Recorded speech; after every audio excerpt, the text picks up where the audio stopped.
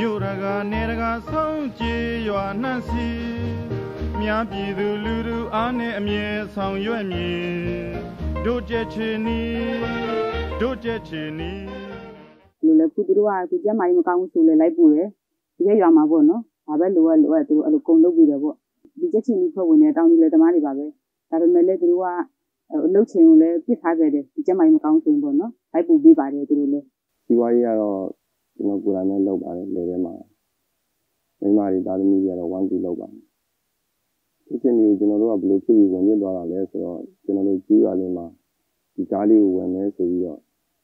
ဝိုင်းဝန်းစုဆောင်းပြီးတော့အတူလေးပါခံပြီးတော့ကျွန်တော်တို့ဝင်လဲရအောင်ကျွန်တော်တို့ကားဝယ်ဖို့တိုင်မြန်ပါတယ်တိုင်မြန်ပြီးတော့ကျွန်တော်တို့အဖွဲ့အကြီးကျယ်ကိုတယောက်နဲ့တိုင်မြန်ပြီးတော့ကားလဲဝယ်ပြီးတော့သုံးဝမြို့နယ်တက်ချင်ကြီးအင်းကိုနေကိုကျွန်တော်တို့ တွားရောက်ပြီးတော့နင်းညမ်းပါတယ်ပြည့်စုံပါတယ်ကျွန်တော်အဲသူတို့ကဘယ်လိုခေါ်မလဲဆိုတော့တကယ်ဟိုစေတနာဝန်လန်းစိတ်ရှိတဲ့ရွာသူရွာသားတွေပေါ့သူတို့ရွာမှာရှိတဲ့သူတို့ကိုပံ့ပိုးပူညီတဲ့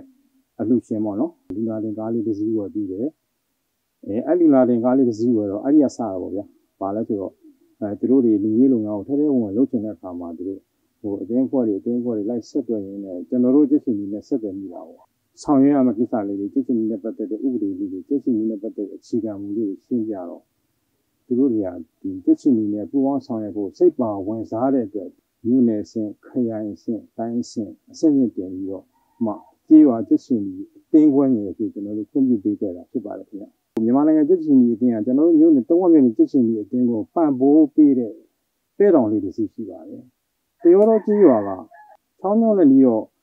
ကျွန်တော်တို့မြို့နယ်မှာထားတာနဲ့စရင်သူတို့ကြေးရွာတက်ချင်ဒီအတင်းခွဲငယ်လေးမှာဒီမော်တော်ပုံလေးကိုထားမယ်ဆိုလို့ရှိရင်သူတို့ဒီအရေးပေါ်ဒီနာတေပို့ဆောင်ရေးလုပ်ငန်းတွေလူမှုပြုလာလုပ်ငန်းတွေမှာအခုညီပေးနိုင်မယ်ထင်လို့ကျွန်တော်တို့ကဒါသူတို့လက်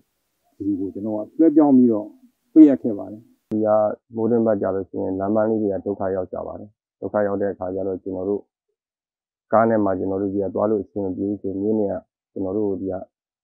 လက်ပွဲတွေကပေးထားတဲ့ကြီးပုတ်ကလေးနဲ့မြို့နယ်ကျွန်တော်တို့အဖွဲ့ကိုလှမ်းချိန်ပြီးတော့ကျွန်တော်တို့ကဒီကကားရတဲ့နေရာကိုကြီးပုတ်လေးနဲ့ပို့ပေးရပါတယ်ဆရာကျွန်တော်ကိုဗစ်ကဘုရင်လောက်ကဖြစ်တာပါရှစ်လပိုင်းလောက်ကဖြစ်တာပါရှစ်လပိုင်းလောက်ကဖြစ်ပြီးတော့ကျွန်တော်ရန်ကုန်နောက်ကလာပါမိသားစုဆေးရုံမှာ29ရက်တက်ခဲ့ရပါတယ်ကျွန်တော်တို့ဒီကျွန်တော်ကြီးပါချက်ချင်းအပွဲတွေကနေပြီးတော့ပဲရန်နေမော်တော်နဲ့ကျွန်တော်ဇောဝထိတ်ကားလမ်းကိုပို့ပြီးတော့ဟိုဘက်ကိုကျွန်တော်ကားနဲ့တက်သွားတယ် ဟိုခုတယောက်ကအဲ့လိုနာမကျန်းကိုဗစ်ဖြစ်တယ်ဆိုလို့ရှိရင်သူတို့ကအဲ့အိမ်မှာတွားပြီးတော့လေစောက်ရှောက်ပြီးတယ်အောက်ဆီဂျင်လိုအောက်ဆီဂျင်ပေါ့နော်အောက်ဆီဂျင်လိုအောက်ဆီဂျင်လုပ်ပြီးတဲ့လူနာနားမှာသူတို့ပြုစုပေးတယ်ပေါ့ဒါမှအကယ်၍မွေးပါညာလူခဲ့တယ်ဆိုရင်လည်းသူတို့အနေနဲ့အဲစိုက်ထုတ်ပြီးတော့ကုသပေးတယ်ပေါ့အဲ့လိုလေဟုတ်ကဲ့ပြောသူလိုက်တော့ကျွန်တော်တော်တော်လေးဝန်တာသွားတာပဲလိုက်ပို့တယ်ဆိုတော့ဒီတိုင်းဆိုရင်တော့ကျွန်တော်ကဟိုအတက်နဲ့လူနေရတဲ့အချိန်ရောက်နေတာဟိုဝရဘူးလားကျွန်တော်ကမောတာပေါ့ ဒီနေ့မှကျွန်တော်အောက်ဆီဂျင်တွေပါလိကျွန်တော်ဒီချက်ချင်းတွေတက်ဖို့တွေရတယ်ဘုံလုံးဆောင်ရင်းပေးပါတယ်အဲ့ဒီအချိန်မှာမိုးရီကြီးတွေလည်းတွားတော့ဒုက္ခရောက်ပြီးတော့သူကလည်းကောင်းသွားတဲ့အချိန်မှာဒါဝမ်းသာတယ်ဆိုတဲ့အကြောင်းလေးကိုပြောပါချက်ချင်းတွေတော့ကျွန်တော်အားလုံးကိုဒီနေ့သူကျေးဇူးတင်လိုအပ်တဲ့အချိန်မှာလေလိုအပ်တယ်လို့လုပ်ပေးတဲ့အတွက်အဲ့ဒါအရင်ကျေးဇူးတင်ပါတယ်လို့ဟုတ်ကဲ့ဒီလိုလေးလည်းလုပ်နေရတဲ့အခါကျတော့ကျွန်တော်ဒီနေ့မှာကျမ်းမာရေးအတွက်ဝမ်းသာတာပေါ့